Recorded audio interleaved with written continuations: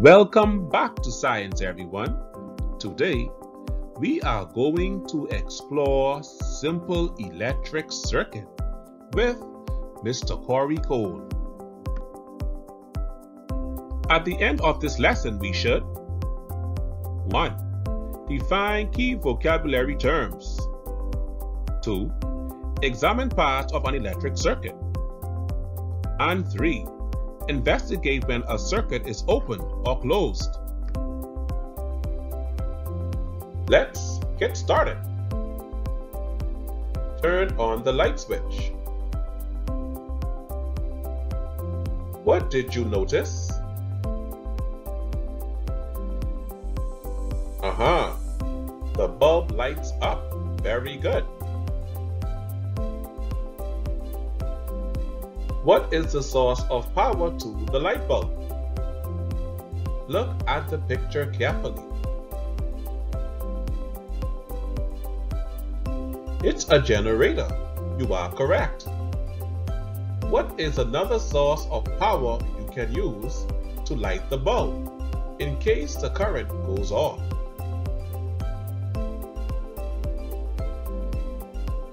A battery. Very good. How does energy from the battery reaches the bulb to light it?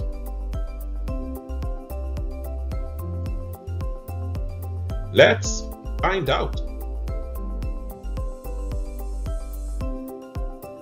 Let us look at the definition of keywords.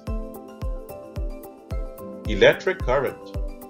The flow of electric charges is called an electric current.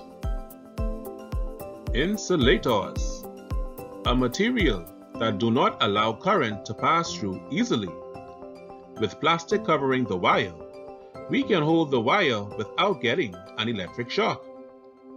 Here are some types of insulators. Wood, glass, rubbers, plastic, and oil. Switch. It is used to turn an electric current on or off, as you can see in the diagram. Battery. The battery is an electric cell which supplies energy to move charges through the circuit. Conductor, a type of material that allows electric current to pass through it easily. The electric wire is made of metal, mainly copper. Here are some types of conductors. Steel, silver, gold, seawater, and copper. Who's with me? Memory check. James works for Bahamas Power and Light. While he is working, he normally uses a pair of rubber gloves. Explain why James uses the pair of rubber gloves. He uses the pair of rubber gloves because electric current can pass through them easily and it will prevent him from getting shocked. Very good.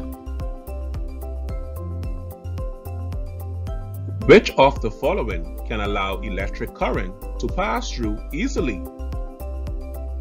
Is it the glass, wire, or the rubbers? Which one? The wire.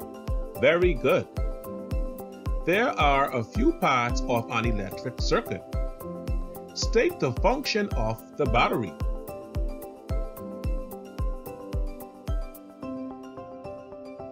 The battery provides energy to move charges through the circuit.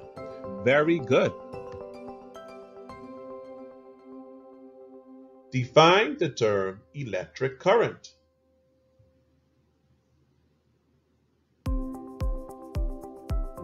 A flow of electric charges. You are correct. A switch is not needed as a part of an electric circuit. Do you agree or disagree with this statement?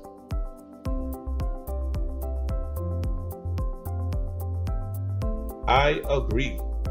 A switch is used to turn an electric current on or off.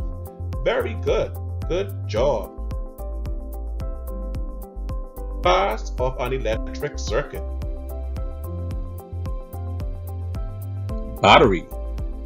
A battery has a positive sign, as you can see, and a negative sign too. Electricity from a battery must flow out of one end, the negative end, and back in through the positive end in order for it to work. Bulb. Something being powered by an electricity in a circuit. Wire. The wire is the conductor that allows current to pass through it. Switch. Why does a circuit have a switch? A switch is used to turn an electric current off or on.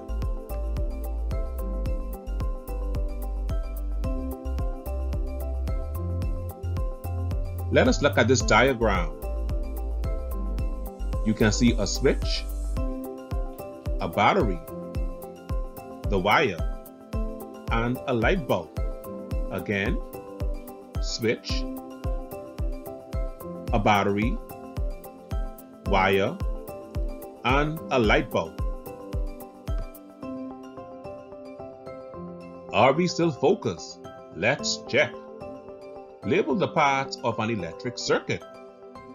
You are going to use the words from the box to label the part. Let's get ready. Wire. Very good. Battery.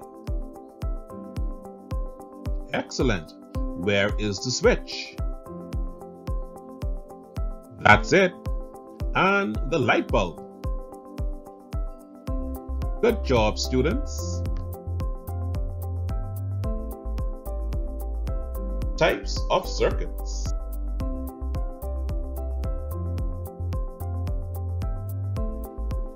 Closed circuit. When the switch is on, the path is complete. The bulb lights up. As you can see in the diagram, the bulb is glowing.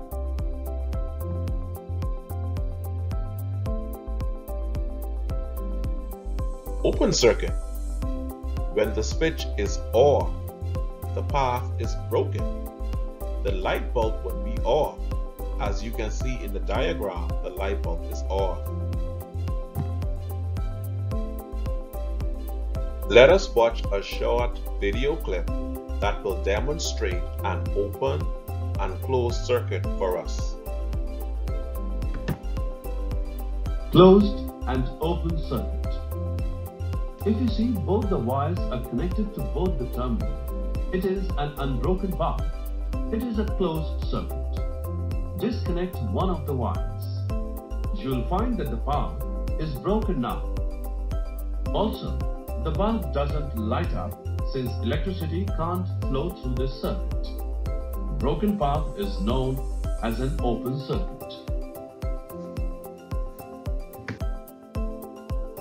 Sherlock Holmes is to the rescue. Examine and explain what is happening in each picture below. Let's look at picture A.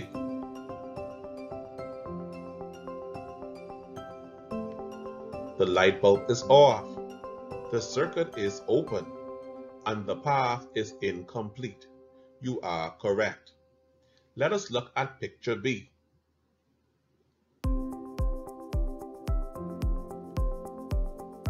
The light bulb is on, the circuit is closed, and the path is complete. You are correct. C. Differentiate between insulators and conductors.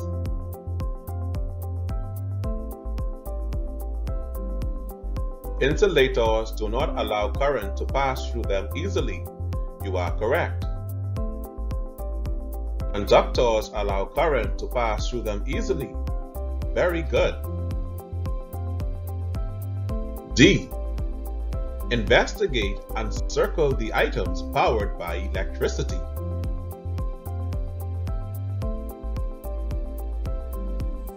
Very good. The iron. The boombox. The blender. Flat screen TV. Is that a lamp? And a fan. Good job, students. Let's make a simple circuit. Your science experiment for this week. Students, please read the instructions carefully. It is clearly outlined for you to produce this experiment. Have fun!